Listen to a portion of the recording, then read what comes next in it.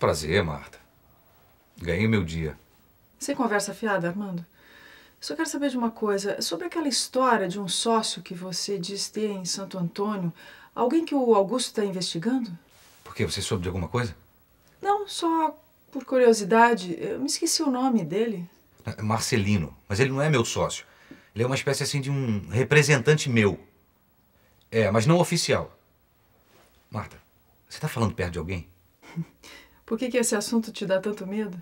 Porque essa história não é brincadeira, Marta. Se você tá me ligando é porque você sabe de alguma coisa. E eu preciso saber o que foi. Me diz uma coisa: o Augusto falou o que do Marcelino? Parece que eles vão se encontrar por esses dias. Marta, eu preciso encontrar urgente com você. Nós já estamos falando pelo telefone. Mas tem que ser pessoalmente. Eu detesto receber ordens, Armando. Marta, espera, não desliga. Eu acho que você não tá me entendendo muito bem. Eu vou tentar ser mais claro com você. Se a gente não se encontrar ainda hoje, eu vou abrir o meu coração pro seu queridinho cunhado. Vou falar sobre uma certa noite, anos atrás. Eu acho que você tá me entendendo, tá? Ou você quer mais alguns detalhes? Vai me encontrar ou não? Basta me dizer onde.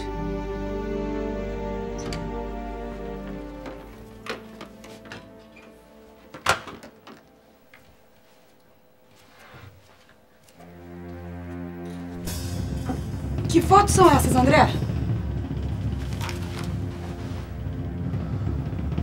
Precisamos ter uma conversa. E tem de ser agora. Eu me preocupo com o teu futuro.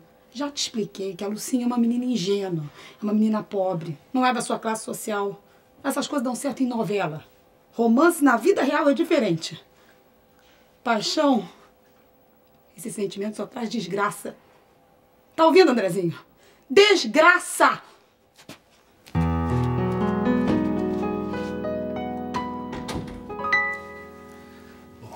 Eu precisei refrescar sua memória para você entender como a minha situação tá complicada. Não esquece que você também se comprometeu naquela noite. Aquilo foi um gesto de um homem apaixonado. Já o seu. Bom, vamos fazer o seguinte: vamos botar uma tonelada de pedra em cima desse assunto, tá? Acabou, passou, não volta mais. Diz logo o que, que você quer de mim. Eu quero 10 minutos dentro do escritório do Augusto. É, você vai conseguir, você vai me colocar dentro da sua casa, porque eu preciso procurar algumas coisas no escritório dele. Você, você enlouqueceu, eu não vou fazer isso de jeito nenhum. Vai sim. Você é uma boa menina, Martinha. É claro que vai.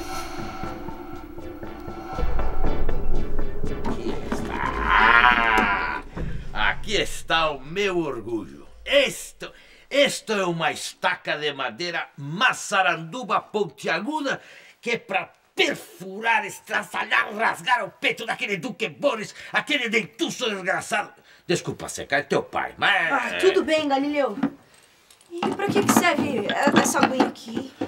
Ah, ah, ah, olha só, isto aqui é água benta. Para vampiro é pior que ácido. Fica longe desse coisa aqui. É. E esse aqui é uma réstia de alho bem servida. Aqui. Eu detesto alho, Galileu. É.